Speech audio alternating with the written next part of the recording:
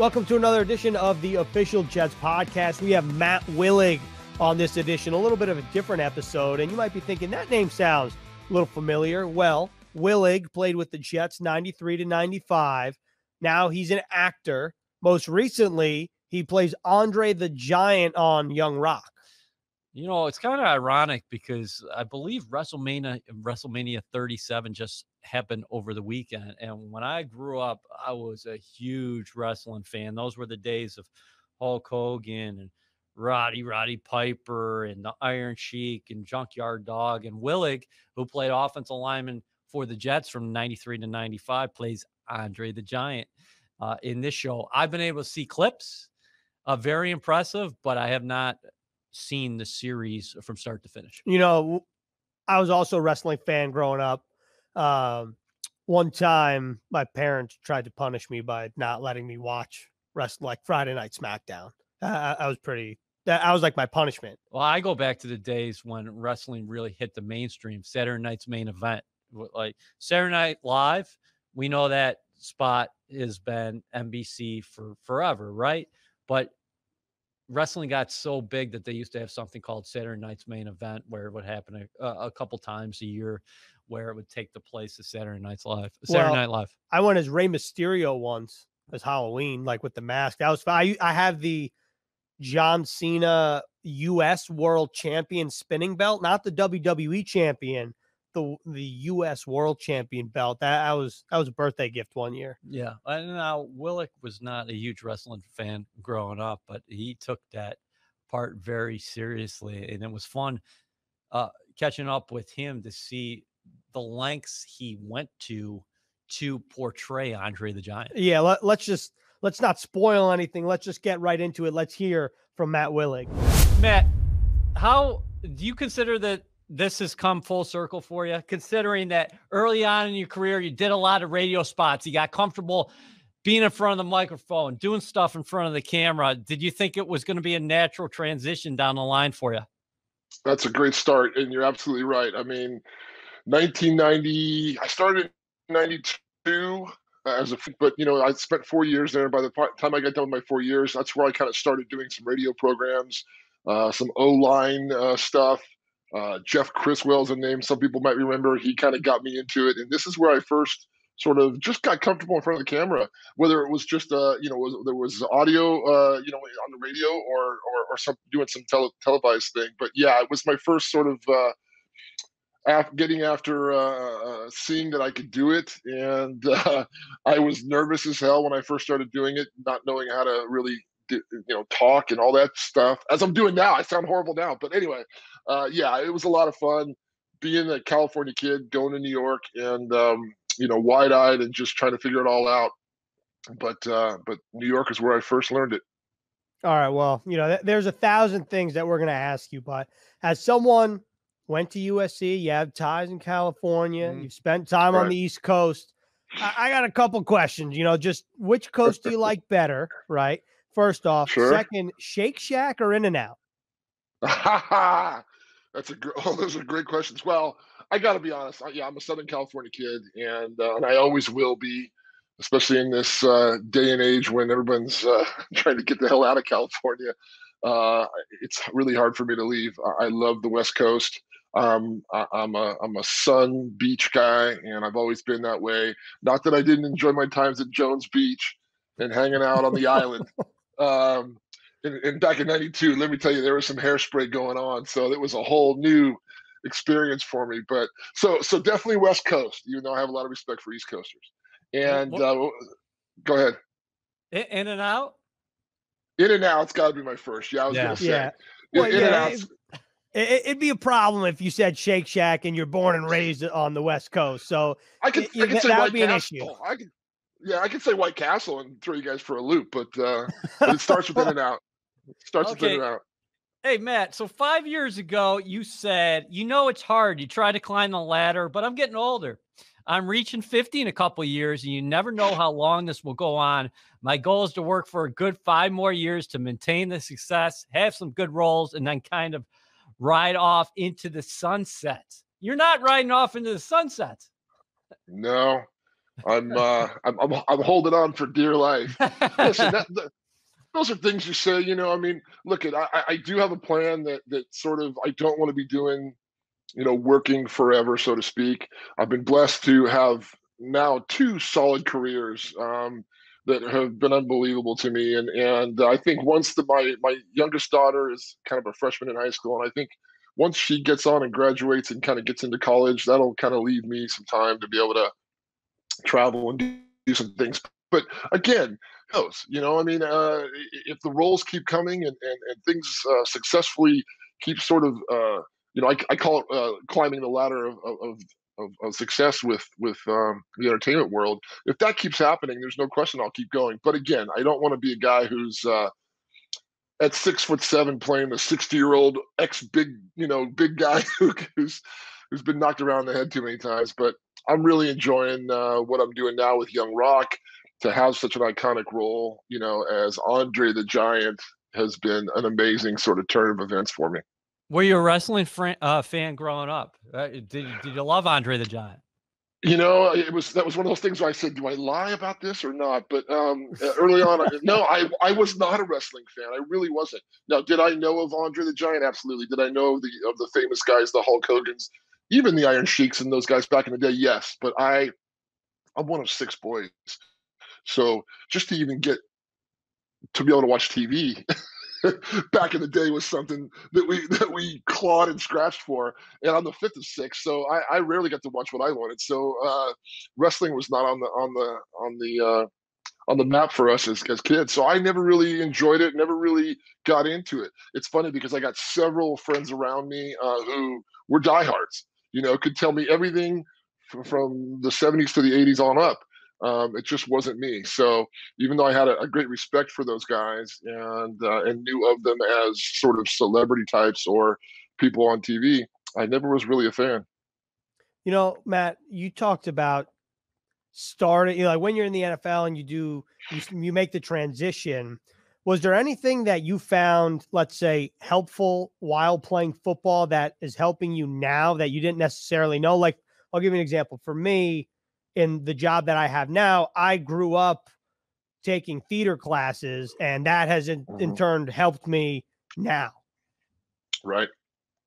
Well, you know, it has to be sort of in your DNA, and you have to sort of ha- have that itch, you know, to to to be on camera, even, you know, and want to do that, and put yourself out there. And I had that already, so I had that sort of personality. But there was no question that I needed help along the way. But getting back to your question, um, you know, football with just discipline and, you know, being a, a part of a team. I, my role through the NFL years was sometimes starter, sometimes backup, you know, and not just a backup, but backup several positions. So that became my sort of niche. You know, I knew that number one, I was going to be a character actor. Number two, I needed to find sort of my placement and everything. So, yeah, that's a long way to say yes. You know, having the discipline um, to study, having discipline to know your lines, um, being fitting yourself in as part of the um, in, in a TV series or, or a movie. All those things kind of are things that I had been doing all my life, you know. So um, that and rejection, you know, for me playing for six teams in 14 years, there was definitely some some rejection going on there, and so I moved from one of the highest rejection rates to I think the highest rejection rate um, in the entertainment field, and uh, so those things sort of just it's one of those things that just you keep your head down, you try and learn as much as possible, and and you get better as you go on, and that was sort of the same thing that happened with me in the NFL. You were a Rose Bowl champion with USC uh, back in 1989. You eventually yeah. got a Super Bowl ring as well. You played with the Jets Atlanta Falcons, Green Bay Packers, St. Louis Rams, San Francisco 49ers, Carolina Panthers, and then you circle back with the Rams again. Uh, yeah. Unbelievable. Did you ever think when you started out with the Jets in the early 90s that you would play for that long and what kept you going in terms of the average career, as you know so well, is just over yeah. three years? Yeah. It, you know, it, it was. Um, it, it just was one of those things where I just said, why not me? Now, did I think I would play over 10 years? Absolutely not. But I had this sort of dumb arrogance that that I just thought somehow I would make it. Now, my story with the Jets is is pretty crazy because I came in as a defensive lineman, a defensive end. I was playing in the days of uh, Jeff Lageman and Dennis Byrd and Marvin Washington and, and guys like that. And um, I knew I was too slow to play in the NFL. But again, I just thought if I worked hard enough, something would happen. And sure enough, one day late in training camp, my rookie year, I got pulled over after practice, and, and the O line coach said, Hey, we want to work on you with some drills, O line drills. And based off that minute sort of audition, to use the word that I use now, um, they called me in. Bruce Coslet calls me in at the end of training camp and says, Hey, I want you to go home to LA, uh, gather your stuff. We're going to bring you back on the practice squad and we're going to put you on as an O lineman and see how it goes.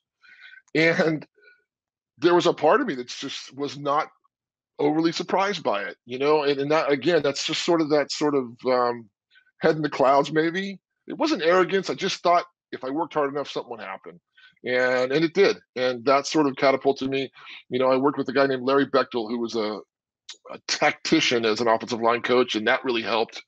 And, and that was immense to kind of getting me to be a good O lineman and be able to last uh, as long as I did so that was sort of the transition and and uh, you know i didn't think it was i didn't know it was going to happen but i just had a feeling somehow i would sort of force my way in you know i know we keep going back and forth between football and acting but that's what we're going to keep doing yeah. you so i'm going to pep i'm going to pepper you with a, an acting question Go. what what do you like most about acting or being on camera it's every bit of it for me is a challenge. Um, it, it, it's getting easier, and there are certain things that are easier than others. But um, you know, it, it's just I can be playing a thug over here one day, and then the next day I'm doing Andre the Giant, and the next day I'm trying to ca- cry on camera, and the next time I'm grabbing a guy and throwing him with some stunts, or we're doing a fight. It's just that back and forth of what you can do in this business and what I be blessed on the fact that uh, based on the fact that I, that I'm big and I have the physical stature that I'm able to do those things. So it's that back and forth. I think every actor will say, you know, I, I love doing comedies, but then I love over, coming over here and doing, uh, you know, something serious or a drama.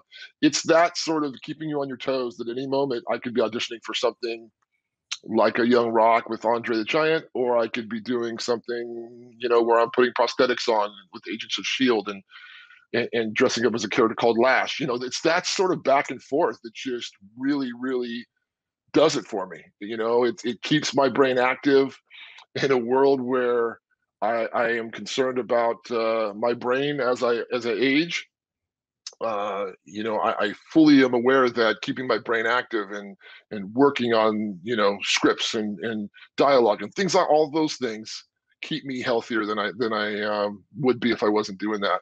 You've been in more than 20 movies and I think close to 30 TV shows now. Is there a character that you most related to personally? Because part of acting is you got to dive into somebody else's shoes, but along yeah. the way, was there a character or two where you said, "Well, this is most like Matt Willig"? Yeah, that's that's that's a great question. I, right off the bat, my initial reaction is playing Justin Strzelczyk, excuse me, in the movie Concussion hmm. with Will Smith, and um, you know, I I could very easily relate to. Uh, obviously, he was an O lineman. Uh, going through the trials and tribulations of the NFL, uh, playing with a hurt body, all those things that he sort of went through in real life and struggles that you know I, I have come to know. I was a roommate with Junior Seau. Um, that just recently in the last year did a story on the USC linebackers. When I played at USC, we've lost about five different guys, um, a couple of them to uh, suicide. You know, based on them having you know signs of CTE. So uh, that hit home with me. Um, and, and in doing the preparation for concussion, I was able to meet Justin's widow and his family um, and just that that really was something that was really personal to me and something that I really related to. So that's kind of my number one answer. You know, Matt, oftentimes in the NFL, you know, players have a moment where they realize, you know what, I, I belong here. I can stick around for a little while. What was that moment for you in acting, if there was one? That's that's another good question. Um, it's it's little things. You know, I don't mean to try to sound sort of so actory, but it is it, it, it is little things because there's so there's a lot of times there's so little acknowledgement or recognition. You know, this has been weird for me with with Young Rock that I've gotten some recognition. It's the kind of the first time in you know a 15 year career. Um, so it's little things. It's having an actor like Malcolm McDowell when I was in a movie with him, um, who's you know amazing, and, and him say that he didn't even wasn't even aware I was an, an ex athlete because he thought he just was impressed with my acting ability. And then when asked you know about my acting or my, my athletic career he had no idea. Little things like that where you just get recognition or you know i mean being able to cry the first time on on on a in a scene. And little things like that where you just go yeah i'm a little bit closer you know? Um getting on uh what else god i'm trying to think um isn't that kind of like the NFL though? Like what separates people that don't make it and do is the little things. Oh, there's I'm one thousand percent.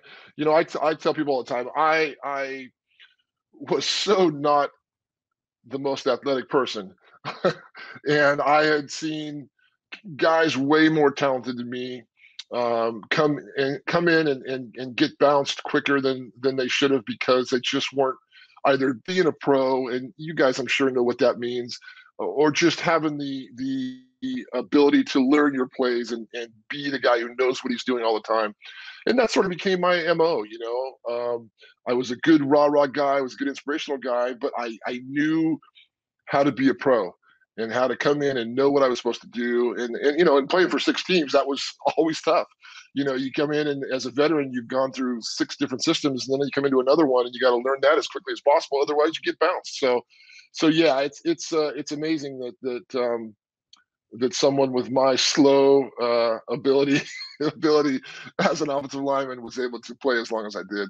You got a lot of humility for a guy who won a Rose Bowl, went to USC, played in the league for that long, has been in all, all these shows and movies. Um, what don't we know about Dwayne Johnson, The Rock, and how did this come to be? Because I think I heard a story, uh, correct me if I'm wrong, that you were in the weight room one day and you actually approached The Rock. We we uh, back uh, probably over over a decade ago, about a, yeah over a decade ago, we were working out in the same gym.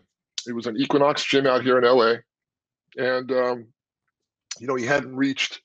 Obviously, he was he was an actor already and doing well, but you know he was still working out publicly before he had his before he had his Iron Paradise going on. So yeah, um, we befriended each other just a little bit in the gym.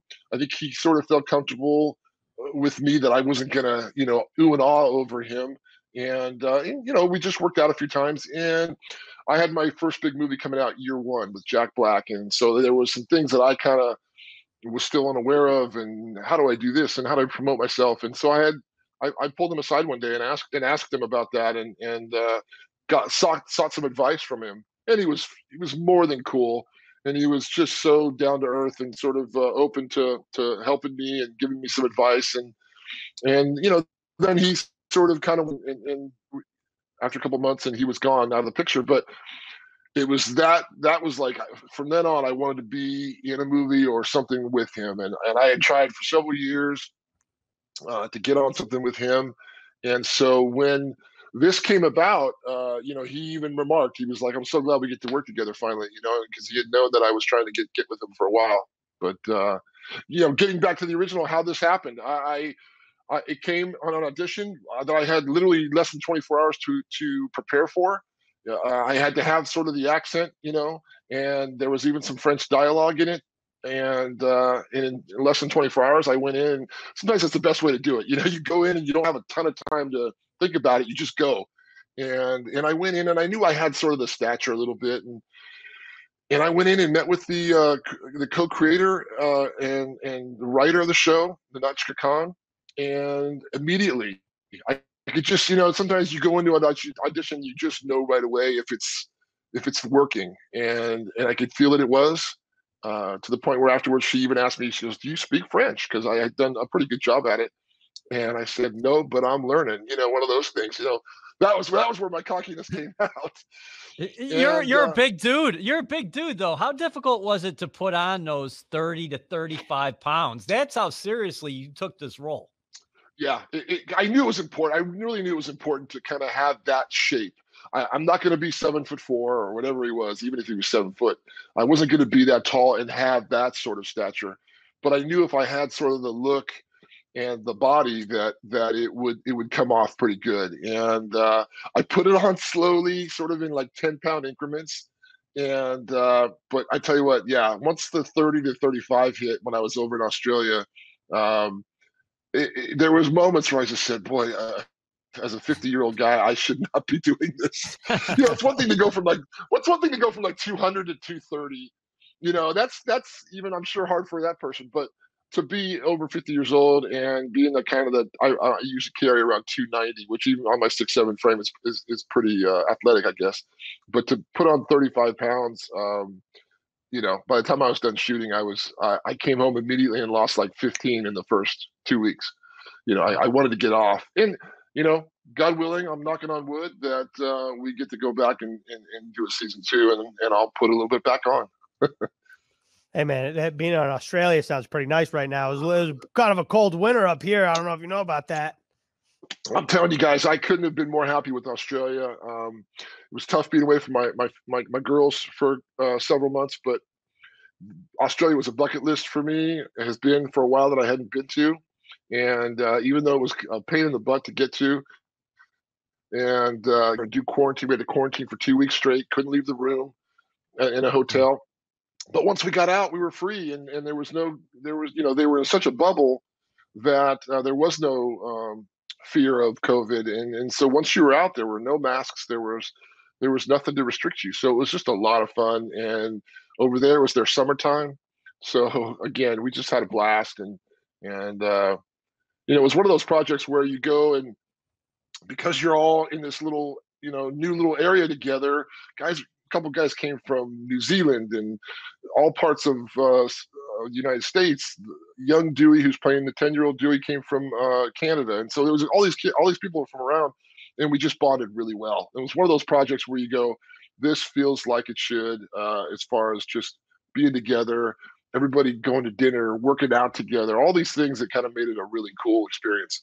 What's a Hollywood premiere like? And also, are you just dad at home? I love the shirt, girl dad. Uh, you know, I, I want to get one of those myself. You have the two daughters. Do they ever? Yeah. Do they always keep you in check, or they think it's kind of cool sometimes when you guys go out to Hollywood a little bit? you know, is that there was that initial when they were really young, and I was doing a lot of the kids uh, shows, the Disney and the um, uh, what's the other one? Uh, yeah, the, the, the Disney shows. Anyways, and I was doing those, and so there was a little bit of real pride in the girls because they would say, "Yeah, that's my dad on TV," because every all the kids were watching him. Uh, it was funny because I used to have parents come up to me and go, "If I have to hear your name one more time, there's Mr. Willig on TV," or like I'm gonna I'm gonna kill my kid. but um, so yeah, but nowadays my kids, you know, they really enjoy the fact that I'm on this show. But for the most part, they're it's they're they're not phased by it. You know, they're like, "Oh, Dad, do you die again in this one?" No, which is what happens to me 95% of the time. They expect me to die as some kind of bad guy or something. All right. Well, Matt, you know, I have one final question for you. And, you know, I, I, we could talk to you for hours. But with that being said, you mentioned Australia being a bucket list item. You played in the NFL. EA was talking about you won a Rose Bowl, you won a Super Bowl, you're acting. What's next? Like, what, what are some bucket list items in terms of acting that you want to do? And, you know, also, do you have just any random bucket list items you want to do that doesn't even involve acting? tell you what, man, you guys are going deep on me here. I'm not sure how to answer these type of questions. Um, you no, take it wherever the, you want to. Right, right. it's exactly. not scripted. Mm. uh, those are good questions. So, I mean, obviously, you know, for me as an actor, all I really want to do is work. And, and people say that, and especially nowadays with COVID and the world that's gone on the last year, um, the acting jobs are so few and far between. And it already is for someone like me as a, as a big man. So, you know, I think just continuing to work, um, getting some good things, getting a chance. Every rung that you kind of go up is a chance to to get some more acting gigs and things that you really want to do. Whether that's just for me, I really want to be in a big action movie. I want to I want to hold a a huge gun and I want to run around and shoot it. That's one of the that's one of the goals.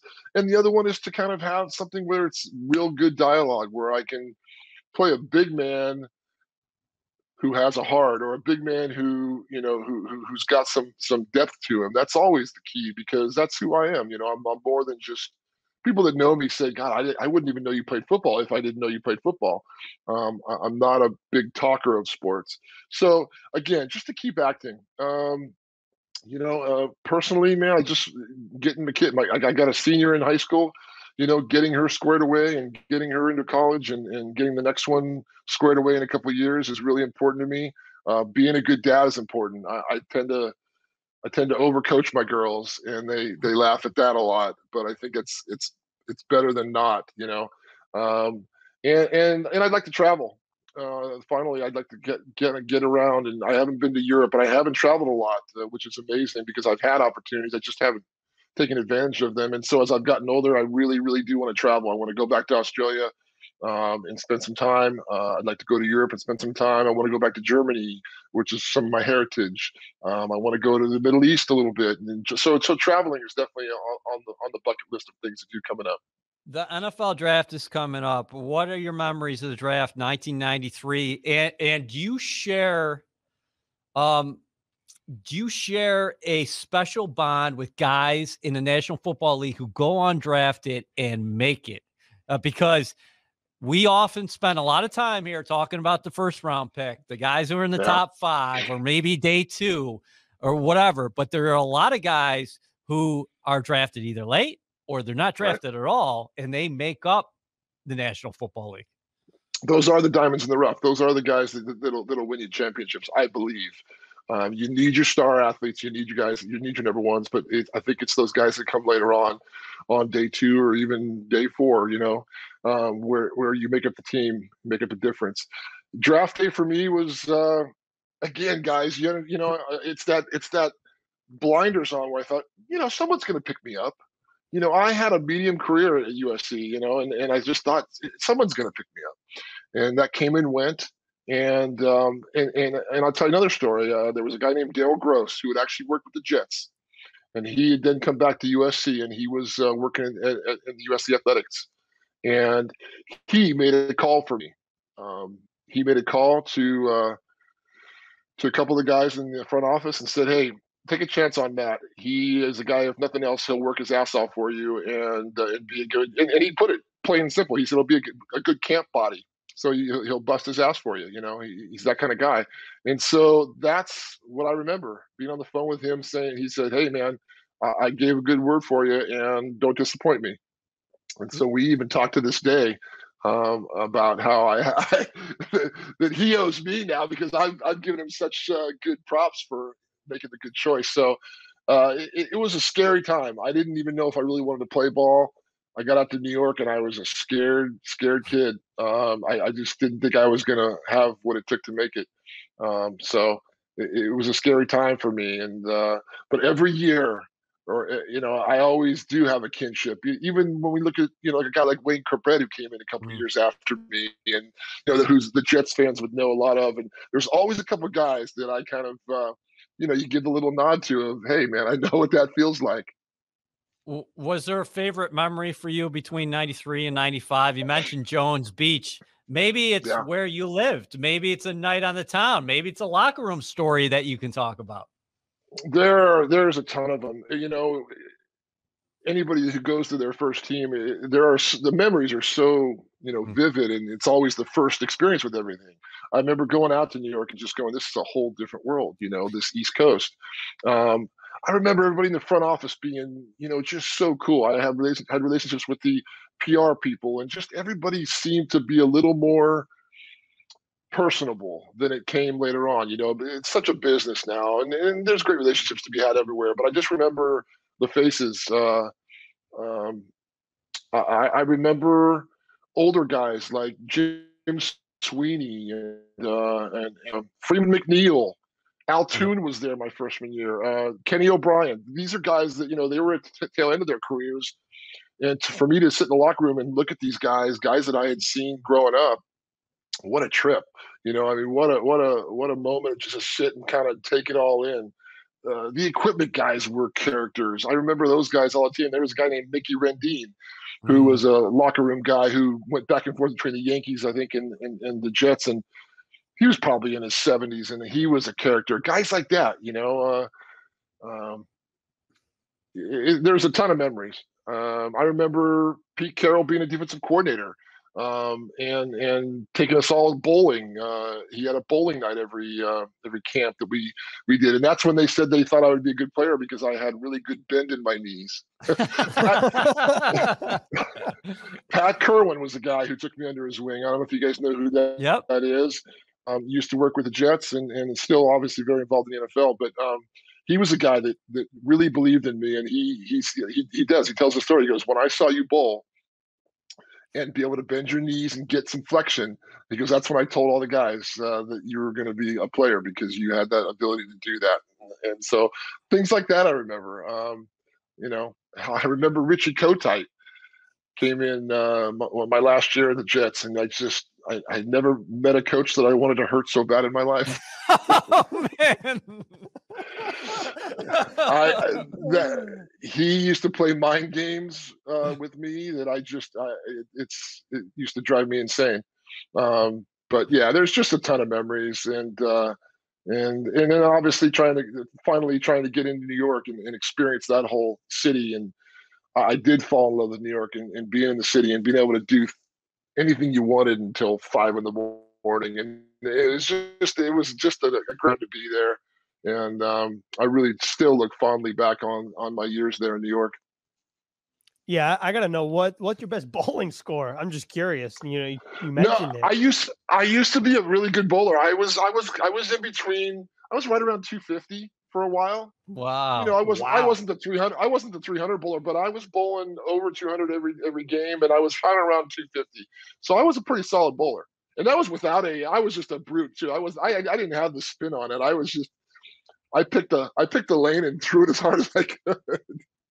Uh, okay, uh, so let's get to this one then. Let's go back to the gym. You and the Rock. What do you wear in the yeah. gym? You doing a t-shirt or you doing a tank top? And what was what does the Rock go with? That's that's a that's that's a good question. I typically like to start with a uh, t-shirt over a tank. Okay. And I like to I like to kind of get the warm up going and get a little, small little sweat going before I, you know, very slyly remove the shirt and show off the guns. Um, hell, I don't know what Dwayne was wearing. I'm sure he was wearing something really, really, really, really tight. and, and, as, and as, little, as little fabric as possible. Um, that's been his mo for a long time. But you know, it, it's funny that uh, that being able to, and this has been, I've met a lot of what you call stars in the world, uh, whether it be athletes or in the entertainment field, and I've just never been. There have been very, very, very few instances where I've been in awe or you know for a lack of words to, to speak to someone and um and Dwayne was just easy you know Dwayne was easy he, he was a really cool guy um, he he comes off sometimes. People have this idea that he's too perfect, but I just think he's so genuine and so driven um, as someone who wants it all. He really does, um, and he works ass off, and that was evident. Just seeing the gym, keeping his head down, sweating his ass off, working hard. Um, and you know, it, he he left me. He wasn't able to be in, in, in Australia when we were shooting because he shot all his things in, in the states because uh, he's by himself. But he made sure he was available for us at any point. and so I reached out to him and really wanted to know the the uh, the real relationship between Andre and and Dwayne as a kid. And so he just left me this 15 minute uh, uh, message to me, and he got that on purpose. He said, "I wanted to leave you this because I want you to have it, and I want you to you know look back on it. I'm sorry I couldn't be able to talk to you in person." But he left me. A, beautiful 15 minute message where if I had bothered him during the during the call, you know, and asked him questions, he would have kind of gone off on something else. But he was able to talk and to have this great passionate speech and passionate talk about what it meant to him, what the show meant to him, what the relationship that Andre had with him meant. It was really the last thing that I needed to be able to kind of get into shooting and kind of have that and have that feel kind of going in. So you know, he's the best, and I- I'm pretty fortunate to be part of uh, what he's got going on right now. Well, we're looking forward to watching uh, what's in store uh, coming up for you. Uh, uh, one of my you. favorites, one of- one of my favorite roles for you was in uh, "We're the Millers." I We're the you Millers. Oh say yeah, I knew that. you were going to say that. were gonna say that. That was that was another one that was a lot of fun to shoot. Um, you know, just had a blast with that one. Wearing one eye uh, the whole time was a treat in itself. But uh, working with Jennifer Aniston, uh, I told this story before. A cute story. I it was my first day working on that movie, and it was the uh, it was the her striptease scene, my Mm. first scene. And as it's written in the script, she's supposed to come over to me and dance on me for a second. I mean, who could not be a little more than excited about that, something like that? So I get a knock on my trailer door about 20 minutes before I go out, and they said, Hey, just so you know, we're switching it up, and um, she's not going to dance on you. And I was like, Well, that's the life of an actor right there, man. Things can change in an instant, especially for someone like me. But she couldn't have been better and more sweeter about it, and um, and it just had a lot of a lot of fun shooting that movie. And it was just a great, great, great movie to come out. At the time, I think we really needed a big R movie, and it was just a lot of fun, a lot of fun to shoot. Absolutely fantastic conversation with Willig. you know, I do I do hope he comes to the East Coast and maybe we'll hit the bowling lanes, a couple pizza joints. yeah. I mean, if you're living in L.A., you're dying to come back to New York for a little pizza. Yeah, oh, oh yeah, for sure. I, And, And uh, and your question, come on, What? you you knew the answer. yeah, in and out. Yeah. Yeah, I was trying to bait him. You know, I, I, well, here's the thing. I don't think, I don't think Shake Shack is a good comparison. It's the only comparison because New York doesn't really have like a How old is Shake Shack? Shake Shake Shack. Shake Shack is. Uh, I don't know, It's but it, within it's the young. last couple decades. yeah, it? it- it's much younger than. I don't think it was here in '93 when Willig was playing. Let's put it that way. that is also true. Let's see, Shake Shack opening date. Let's see what comes up. Um, I don't, I don't know what. A- And, oh, then- yeah, Oh, hold on. Founded 2004. yeah, right. Right. Yeah. In and out's a little longer than that. Do you like In and Out? Yeah, I don't mind it. What's your favorite fast food burger chain? Oh, I don't really have one. Okay. Yeah. Do you do you not like you, uh, you- burgers? or Yeah, I like burgers, but I don't like fast food burgers. yeah, that's fair. I, I would say In and Out. I think just like I, I like Shake Shack, but I like In and Out. I mean, I'm not going to McDonald's or Burger King. No, me neither. Uh, to me, the question is like, is it Five Guys? Is it Oh, Five Guys is good, solid. right? Okay. You know, I, I But think. In and Out, you know, that's oh, Whataburger in Texas. Okay, I've never had that before never though. had it. Never had it. So, you know, it's, it's a it's a hot hot button. I wish I could here. bowl 250 too. By the way, I, I don't. You know, I wish I could bowl over a hundred. I'm sure you could. I, I don't think I have in my lifetime, which That- is sad. That's slightly embarrassing, and Yeah. I don't know. uh, That's the first time I've actually heard you talk about acting classes before as well. Well, yeah, I, I said that, but in high school, I had the option of a second science, business, or theater, Mm. and and what did you play? I, I we just like did improv the entire class. That was the thing. Like we, we just did improv. It wasn't like you needed to go out and act and act in a play. So I figured, you know, it sounds a little more fun than a second science, which was not even a question for me, not even considering that, or business, which was, you know, I, I thought about it, but you know, what what a couple of my friends were saying, well, we heard the teacher's a really cool guy. Maybe it's an easy A. We'll do it. But you grew up in the city. Did you know of any famous classmates who would go on to act? um one kid a couple years older than I am. You know the the commercial, the Bud Light commercial with the poster card in the stands. It's like a cardboard cutout, and he Yes. that kid went to my high school. He's Oh. two years older than I am. All right, there you go. But that that's it. I think he was in on. I think he was in a Law and Order episode, but no one like went to my school for acting. It was just like it was just one of the classes. I just want to know how much time Dwayne Johnson, The Rock, has in a day. It's it doesn't add up to me. Yeah, I feel like I feel like uh, he's one of those guys that's up before the sun is up, and he has his routine and he just gets after it. Yeah. And you got to give Willig a lot of credit for what he did. You know, we talked about he took the undrafted route. It's not like this guy was drafted out of USC. Right. And then he was in the National Football League for more than 10 years.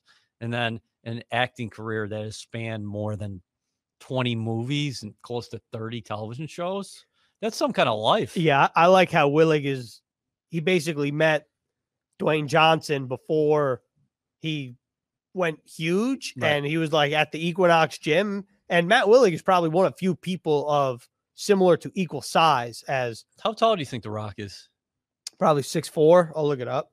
So Willig's like six seven, six eight. Right, How about going to Australia though I'm putting on the weight, quarantining there? Dwayne Johnson six five. Oh, okay. But even still, like if you're Dwayne Johnson, not a lot of people are taller than you and similar stature. Matt Willig probably walks up and you're like, oh, this is a big dude. Like we probably have something in common. Uh, super nice guy. I'd love to go and follow somebody like that to see what a day of shootings like in Los Angeles. Mhm. You know, Yeah, I mean it's it's similar, like as Willig pointed out, but it's also very different. And this was a fun little diversion from football. But you know, interested to see what happens next in Willig's career because, like we've talked about and illustrated, undrafted or Rose Bowl champion, undrafted Super Bowl champion. He worked from the defensive line, switches to the offensive line. Now he's acting. Who knows what's next for Matt Willig? But that's all we have for this episode of the official Jets podcast.